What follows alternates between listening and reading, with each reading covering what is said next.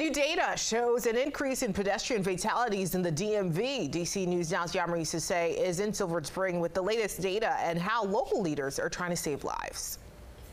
Veirs Mill Road had their speed limit reduced to keep pedestrians safe due to speeding drivers. In April, a man was arrested for hitting and killing a 27-year-old on the road directly behind me.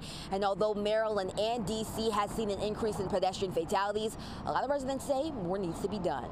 Cars shooting up Veirs Mill excess of 100 miles an hour sometimes. Residents like David Myers don't feel safe walking in their own neighborhoods.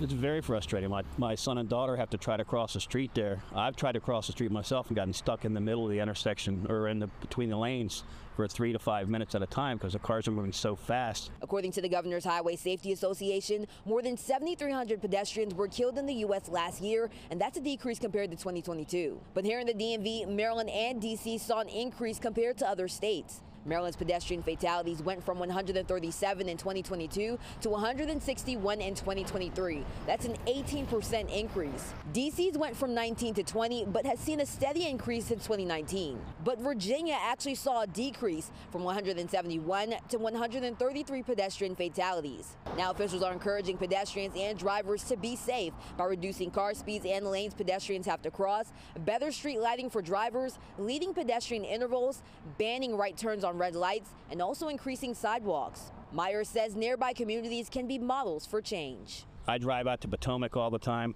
All the residents out there, they have crosswalks, they have flashing lights, they have all the safe things because those are the affluent neighborhoods. But in the ordinary neighborhoods, they don't care. We're now reporting in Wheaton, Maryland. I'm Yamari Sase, DC News Now.